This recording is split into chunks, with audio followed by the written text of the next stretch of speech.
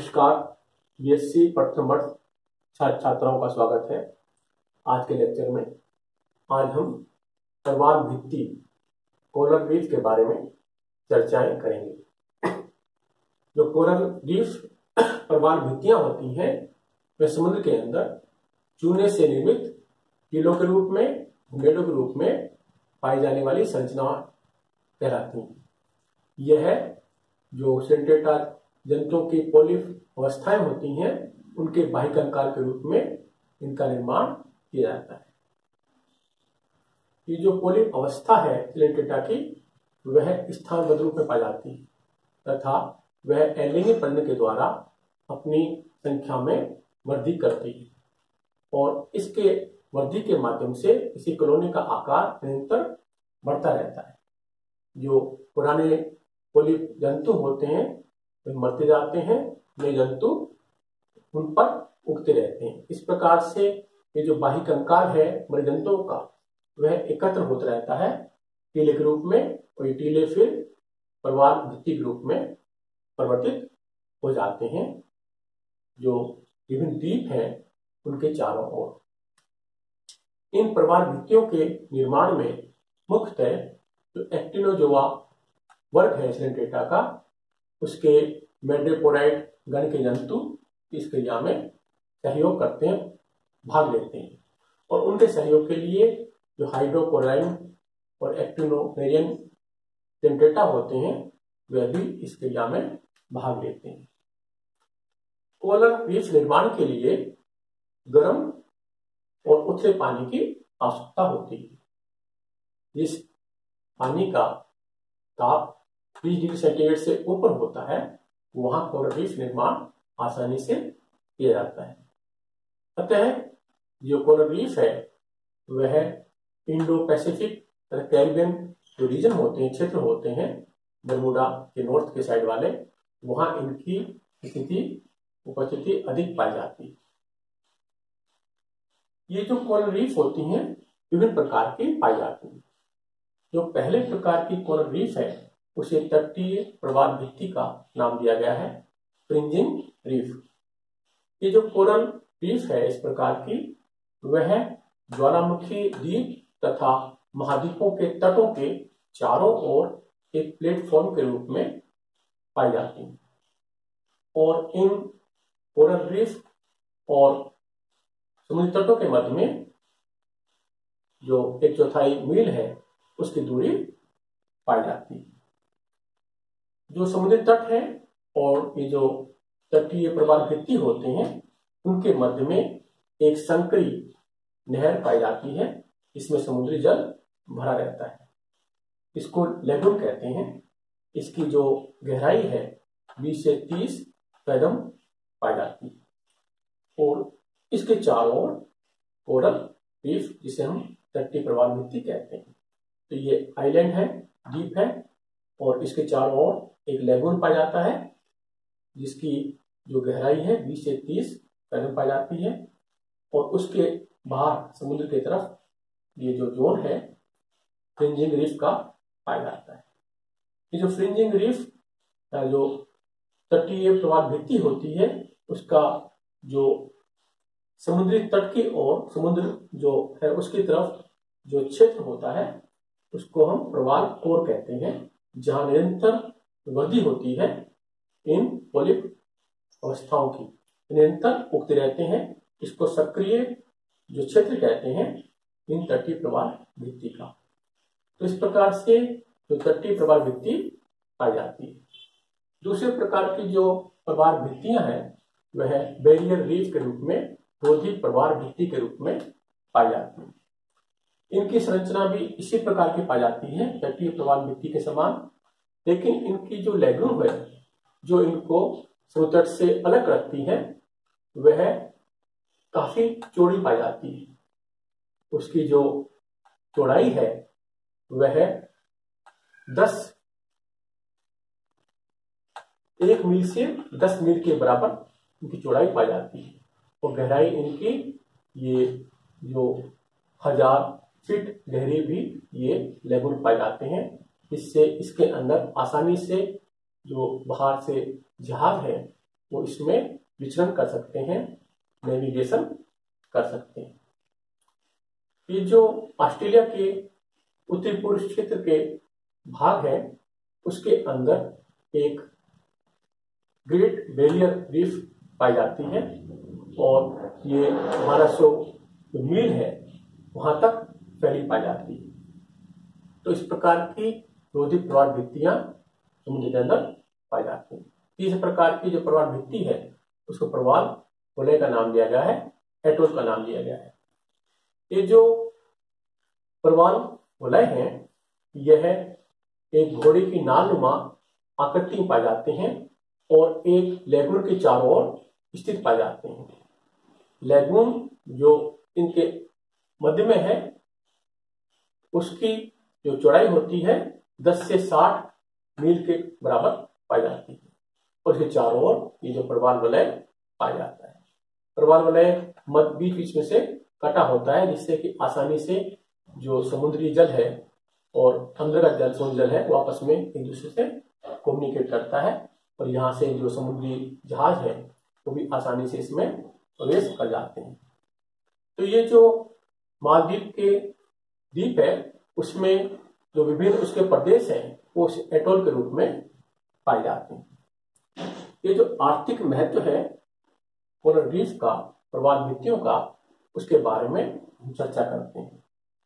ये जो प्रवाल भित्तियाँ होती हैं, काफ़ी पुरानी होती हैं, और इनके अंदर जो पेट्रोल की उपस्थिति है, वो काफ़ी देखी जाती है। तो ये जो पेट्रोलियम इंडस्ट्रीज़ होती हैं कंपनियाँ होती हैं वह इस प्रवाल भित्ति के आसपास पेट्रोलियम की खोज करती हैं। उनके लिए इनकी उपस्थिति है काफ़ी महत्वपूर्ण पाई जाती है। ये जो काफ़ी प्रकार के कोरल्स होते हैं, काफ़ी कीमती प्रकार के सुंदर पाए जाते हैं। उनको जो घरों के अंदर डेकोरेटिव पीस के रूप में इनका उपयोग किया जाता है। ये जो लाल रंग के कोरल्स होते हैं और पाइप कोरल्स होते हैं, इनका विभिन्न दवाइयों में उपयोग किया जाता है। तो कोरल कंकाल होते हैं, और कोराइड्स जो कोरल्स हैं, जंतु होते हैं, उनके जो कोरल कंकाल है, उनका उपयोग बिल्डिंग मेटेरियल के रूप में किया जाता है। इनके द्वारा बिल्डिंग बनाए जाते हैं। कोरल जो कंकाल होते हैं, उनका उपयोग कच्चे माल के रूप में चूना बनाने के लिए, मोटार बनाने के लिए, सीमेंट बनाने के लिए किया है। कोरल स्केल्टन होते हैं, उनको ये जो समुद्र के और शहरों के बीच में जो तट होते हैं, वहाँ मेड़े बनाने के काम में लिया जाता है।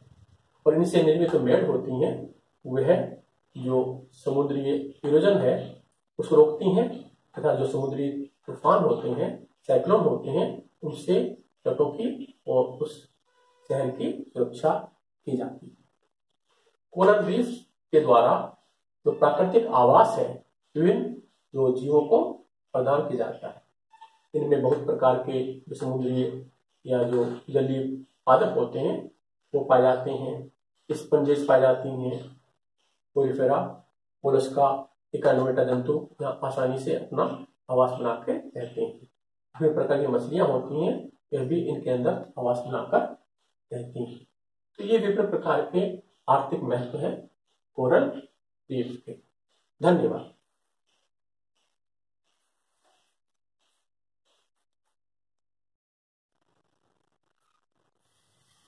नमस्कार बीएससी प्रथम वर्ष छात्र छात्राओं का स्वागत है।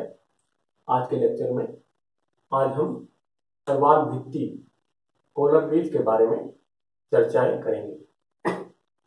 जो कोरल रीफ परवान भित्तियाँ होती हैं, वे समुद्र के अंदर चूने से निर्मित टीलों के रूप में मेडों के रूप में पाई जाने वाली संरचना कहलाती हैं। यह जो सेंटेटा जंतुओं की पोलिफ अवस्थाएँ होती हैं, उनके बाह्य कंकाल के रूप में इनका निर्माण किया जाता है।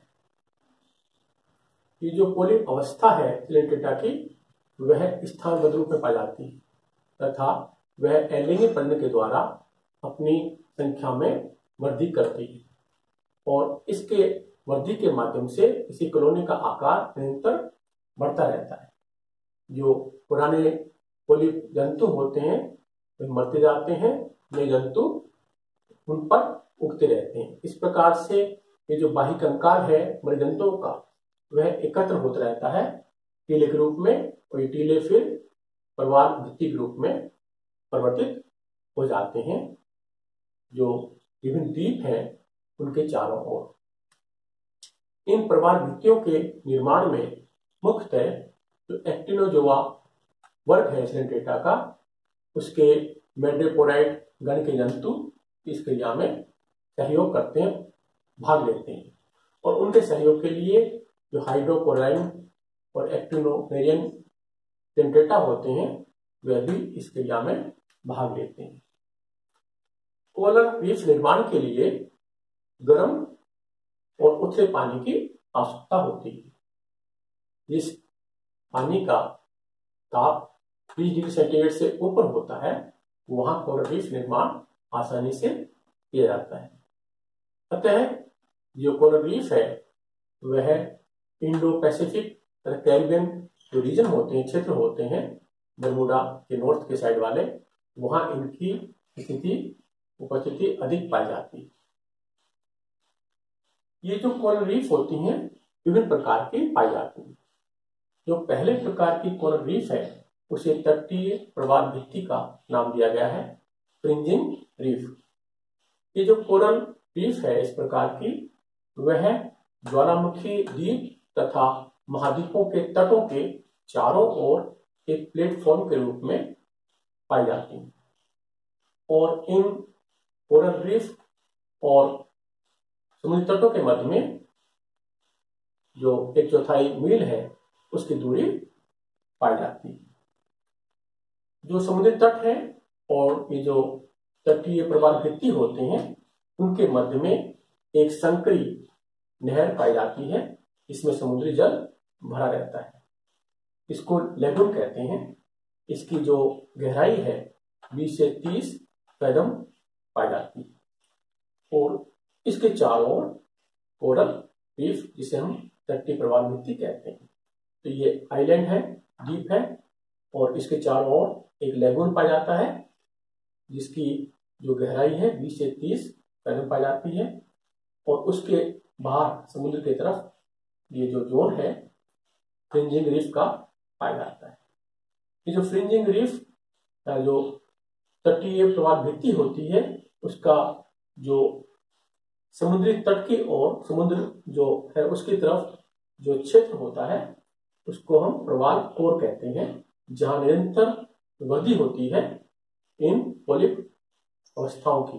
निरंतर उगते रहते हैं, इसको सक्रिय जो क्षेत्र कहते हैं, इन तटीय प्रवाह भित्ति का।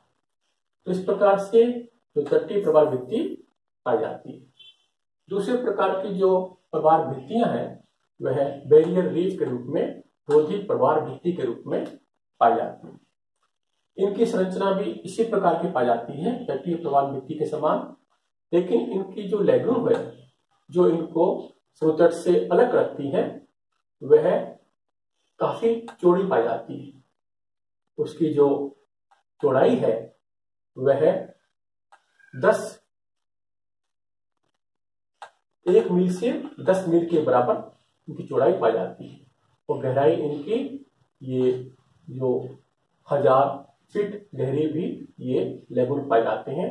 इससे, इसके अंदर आसानी से जो बाहर से जहाज़ है, वो इसमें विचरण कर सकते हैं, नेविगेशन कर सकते हैं।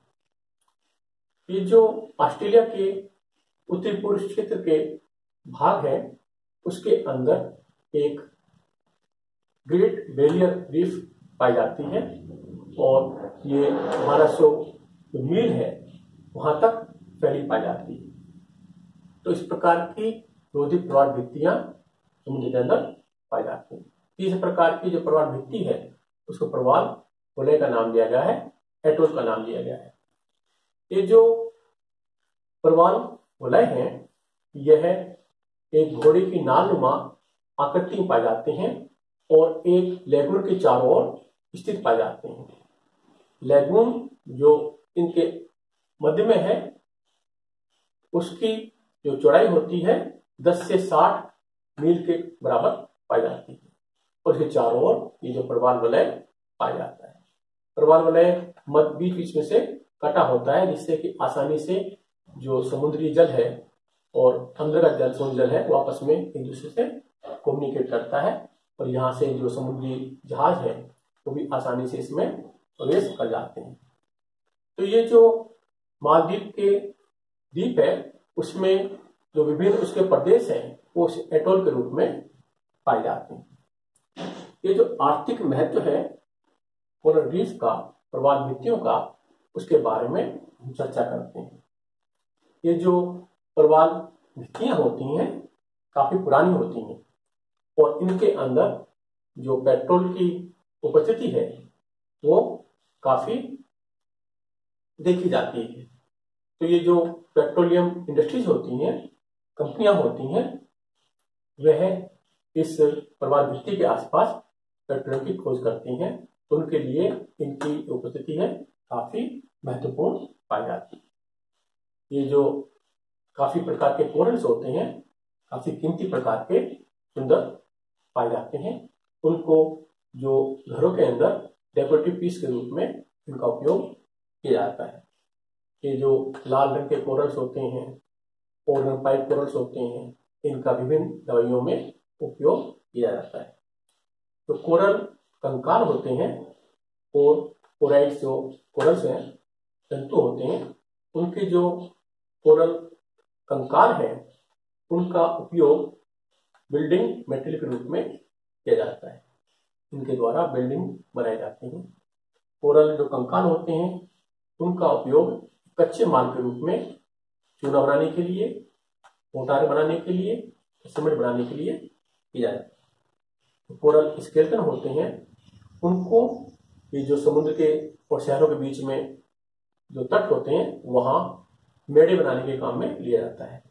और इनसे निर्मित जो मेड़ होती हैं, वह जो समुद्री इरोजन है, उसको रोकती हैं तथा जो समुद्री तूफ़ान होते हैं, साइक्लोन होते हैं, उनसे तटों की और उस शहर की सुरक्षा की जाती है। कोरल रीफ के द्वारा जो प्राकृतिक आवास है, विभिन्न जो जीवों को प्रदान किया जाता है। इनमें बहुत प्रकार के जो या जो जलीय पादप होते हैं, वो पाए जाते हैं स्पंजेस पाई जाती हैं। पोलिफेरा मोलस्का, इकानोमेटा जंतु यहाँ आसानी से अपना आवास बना के रहते हैं। विभिन्न प्रकार की मछलियाँ होती हैं, यह भी इनके अंदर आवास बनाकर रहती हैं। तो ये विभिन्न प्रकार के आर्थिक महत्व है, कोरल रीफ के। धन्यवाद।